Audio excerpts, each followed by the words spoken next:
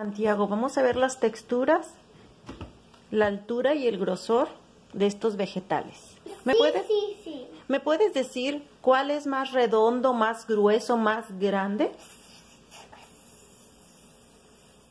Santiago.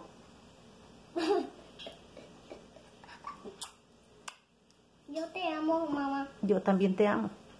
¿Cuál de estos vegetales es más grande y redondo, más grueso de todos?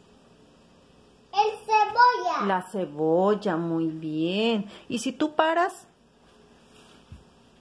un pepino, una zanahoria junto a la cebolla, ¿tú me puedes decir cuál es más alto?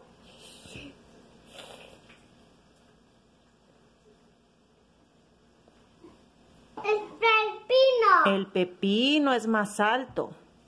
Muy bien. Si tú tocas, si tú tocas el pepino, a ver, tócalo, acarícialo. Acaricia el pepino con tu dedo, por favor. Ahora.